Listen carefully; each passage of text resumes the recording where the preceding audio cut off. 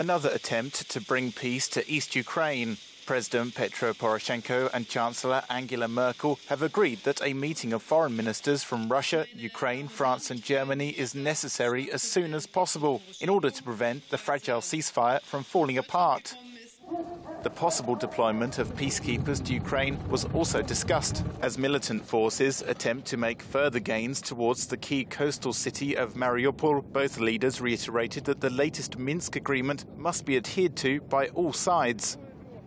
As part of the pact agreed on February the 12th, both sides must pull back heavy weapons and release prisoners, among other requirements.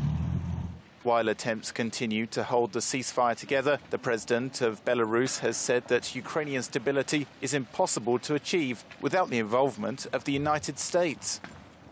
In an interview with Bloomberg, Alexander Lukashenko highlighted the role of the world's leading players in the resolution of the conflict in Ukraine and in maintaining military and political stability in the world as a whole.